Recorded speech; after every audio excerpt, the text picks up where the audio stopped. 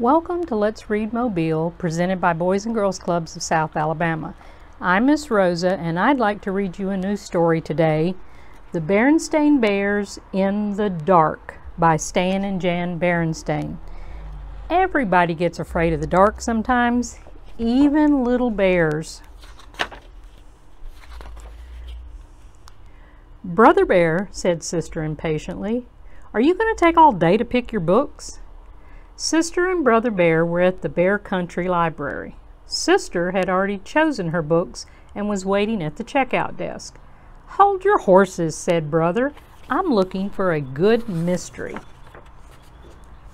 Sister Bear usually took out storybooks and books about nature, and sometimes books of poems.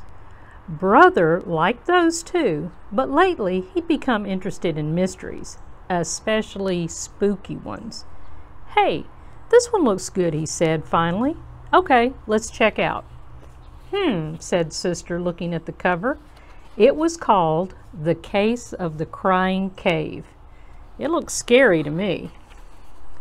Say, this is really good, said Brother later that evening when the Bear family had settled down for some reading. Would you like me to read it to you? he asked Sister. Sister was looking at a storybook about three kittens who were arguing about which one was the prettiest, and it was a little boring. Or are you scared? teased Brother. Of course not, said Sister. She left her book on the floor and climbed onto the bench to sit beside him. The mystery began quietly. It told about some Bear Scouts who were on an overnight campout.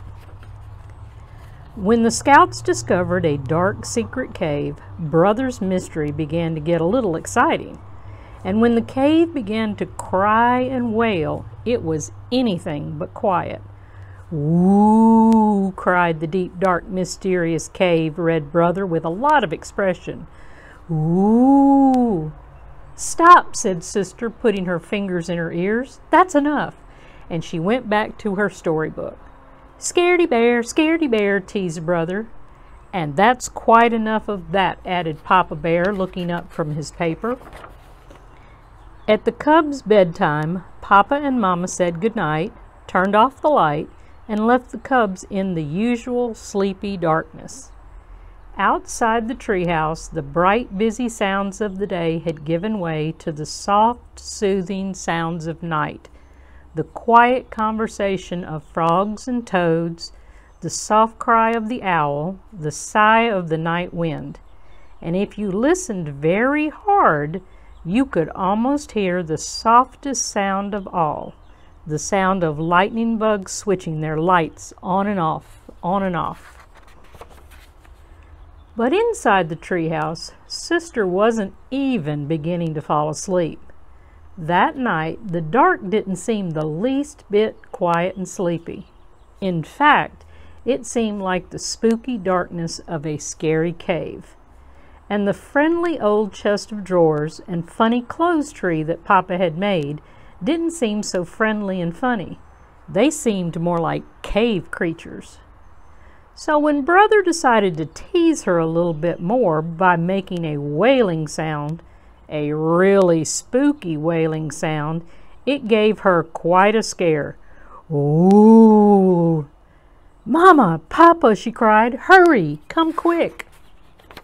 And come quickly they did. Papa rushed into the dark room and tripped over the clothes tree. Mama rushed in after Papa and tripped over him. In the commotion, Sister fell out of bed and landed on both of them.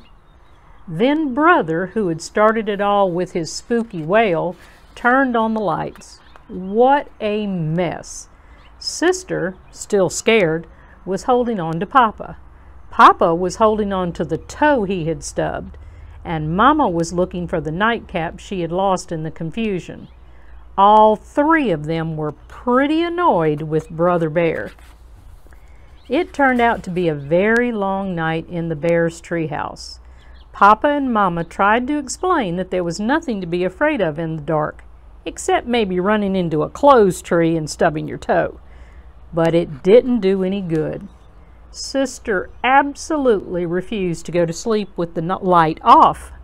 and Brother positively insisted that he couldn't fall asleep with the light on. The next morning, the bear family was very sleepy eyed. Boy, said Brother, yawning, I sure don't want to go through another light night like that. Neither do I, said Papa, and I think I have an idea that might help. He took Sister's hand. Come with me, he said. Where are we going? she wanted to know. Up to the attic. The attic? But it's dark in the attic, even in the daytime. I know, said Papa, but there's something I want to show you. Anyway, there's nothing so special about the dark.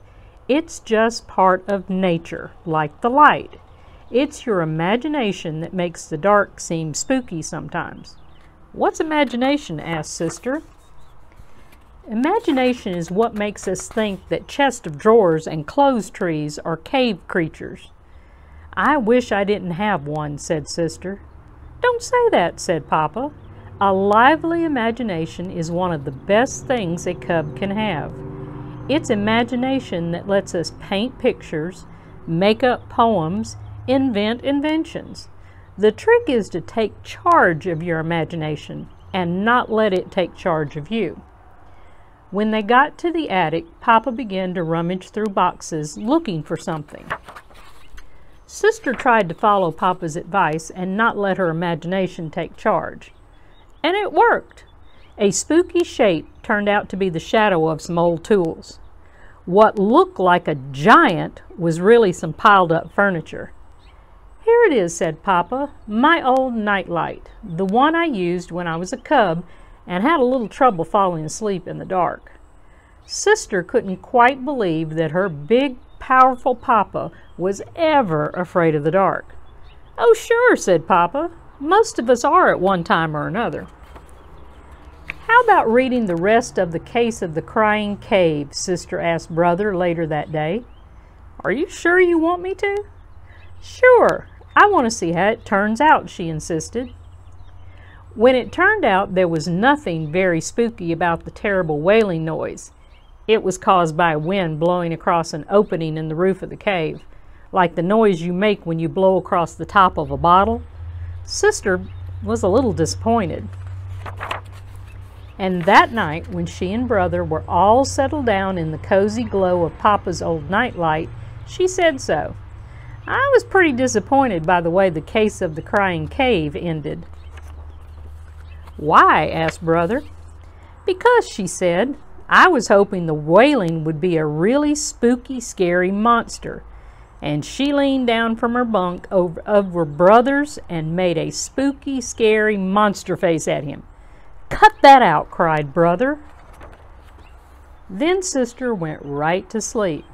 But Brother lay awake for quite some time, listening to the owl hoots and thinking that maybe he'd had enough mysteries for a while. Thank you for joining us today. Don't forget to join us next time, and until then, let's read, Mobile.